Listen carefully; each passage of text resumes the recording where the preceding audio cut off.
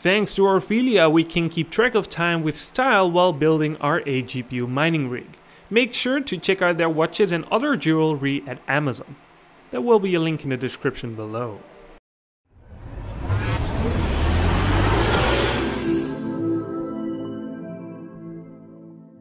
Hello everyone and welcome back to another video from Buried One. So in today's video we're going to be showing you another 8GPU mining rig build but in today's video we're also going to show you a few answers for people and subscribers that have been asking me those quite a lot of times. So hopefully this video today will answer some questions for you guys on temperatures and how you can use M2 PCIe slots on your motherboard and how your mining motherboard works and doing the BIOS settings on it.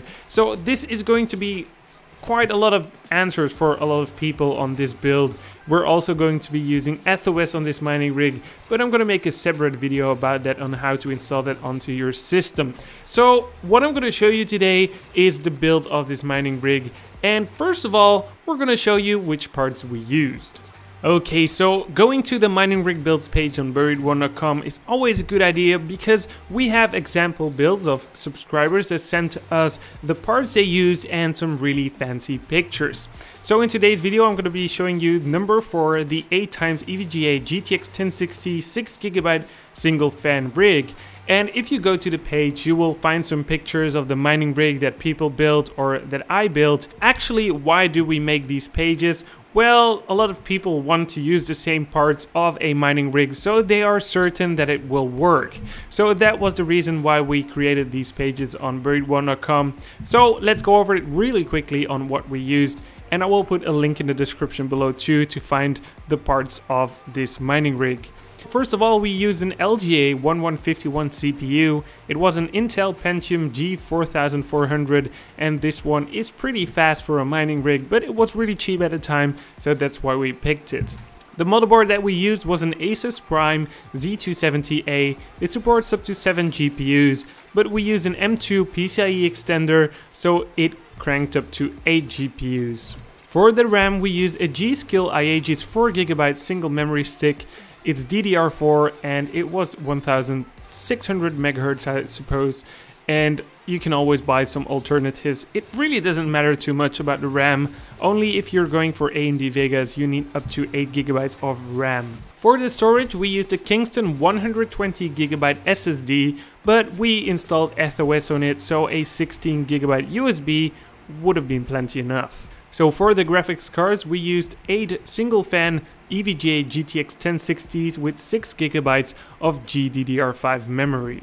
For the power supplies, we used two Be Quiet 800 watt golds, and they were plenty enough for this build. For the PCIe mining risers, we used version 006Cs because we still had them laying around, but you can actually use any you desire. For the mining frame, we used an 8GPU Veddha frame, and for the other things that we bought was a dual power supply adapter to connect the two power supplies together, and also a M2 PCIe extender as I said before, but I forgot to put it on the page. So if you also have a mining rig to show off, make sure to send the pictures and the parts that you use to rigs at buriedone.com and I'm really happy to put it on the page. So now that we have all the parts for this mining rig, Let's put it together.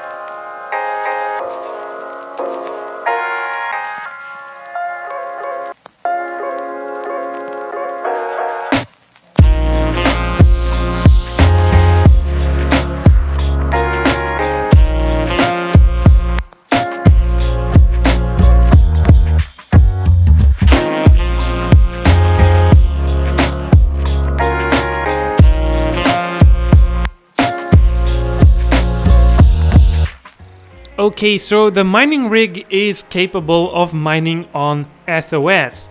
That is the software that we installed. So we're gonna give you a monthly profit situation of the current rates. So this may change very soon when the cryptos go back up in price.